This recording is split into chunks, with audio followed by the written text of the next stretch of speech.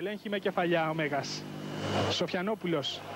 Μέσα στην περιοχή για τον Βασίλη Καραπιάλη. Καραπιάλης κοντρολάρει, κάνει το σούτ και η μπάλα στα δίχτυα. Η μπάλα στα δίχτυα από τον Βασίλη Καραπιάλη στο 8ο λεπτό του πρώτου ημιχρόνου.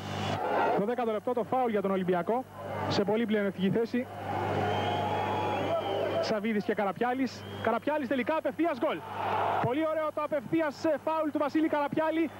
Κάνει δύο τα γκολ για τον Ολυμπιακό αλλά και προσωπικά για τον ίδιο.